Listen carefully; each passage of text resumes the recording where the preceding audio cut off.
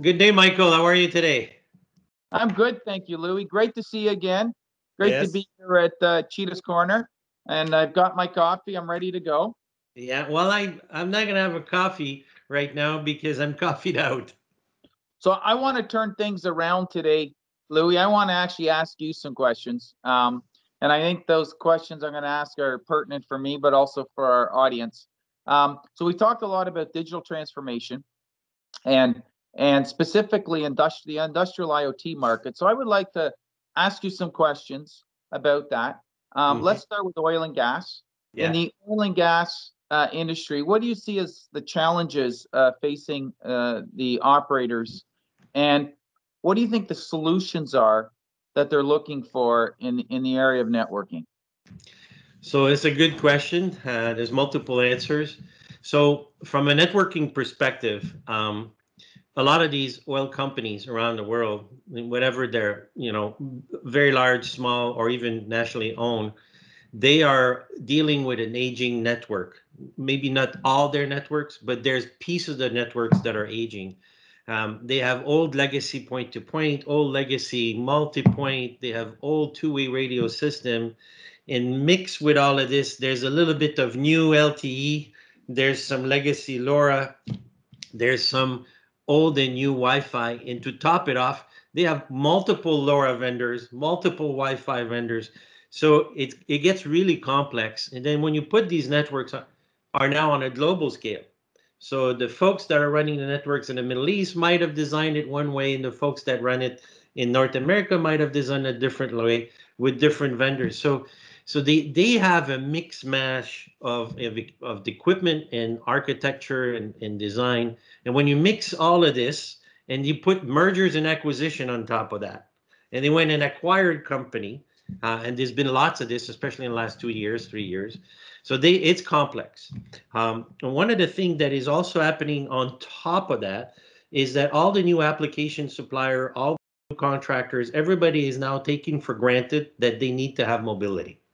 Not just mobility to be able to be mobile, but mobility to be able to leverage the horsepower of these devices, the tablets, and get access to standards-based device and sensors that are becoming cheaper, right? So one of the biggest challenges is to deal with all this mix of infrastructure uh, and understanding what the customer experience is like at the end of the network in regardless of the country, right? So are my sensors getting adequate network performance? Are are my application are my people and machine able to connect all the time?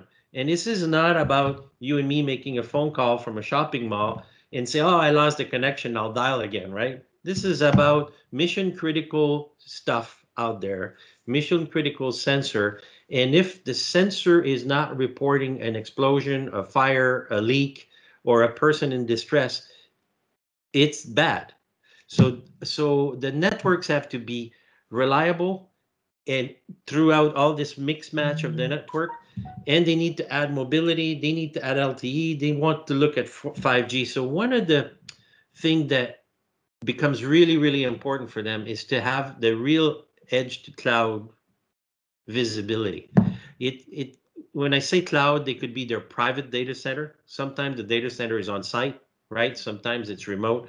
They may have a mix of application that are on site for critical stuff or some that are remote. So the the true visibility um, for the network vice president or the network director after two mergers, acquisition, and a mix matches, how is that person able to face the business unit leader and say, "I'll take care of you"?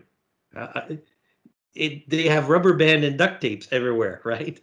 So one of the big challenge that they have is to find a way to be able to have a full visibility from what the applications are getting, what the people are getting, what the sensors are getting, and if there's a problem, and there will be problem, there's always some.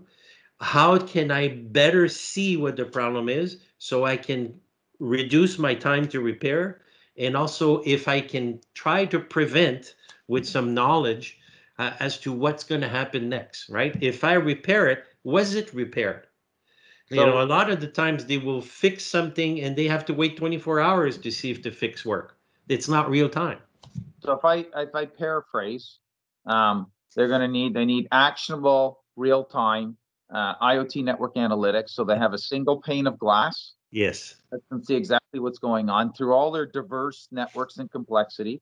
It sounds like they need real-time information, knowing what's happening as it's happening. And they also need the ability to start to predict things that are gonna happen, maintenance. And it's Yeah. all about reliability and safety. Yeah, and and I'll I'll even add to this. I mean, this would be great if they could have all of this on a phone or a tablet.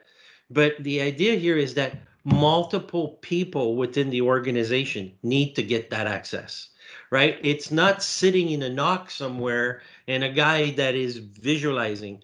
It's the guy in Oman that is having the problem, the backhaul guys, the LTE guys, the SCADA guys as they work together for them to be able to see the same message the same troubleshooting aid so they can collaborate mm-hmm. right versus today's world they all see bits and they try to get on a phone a zoom or a teams and they say what do you see you know and, and the correlation is a manual a manual process and it's not machine assisted uh, so when you start doing this correlation at multiple layers in the application and you do this at machine speed in real time, now suddenly you're giving them a tool. Thank you very much, Louis. That sound, I'm excited as you are. Uh, tremendous opportunity in front of the industry, and, and I'm glad we're there to assist our, our customers with that challenge. Thank you very much. Thanks, Michael.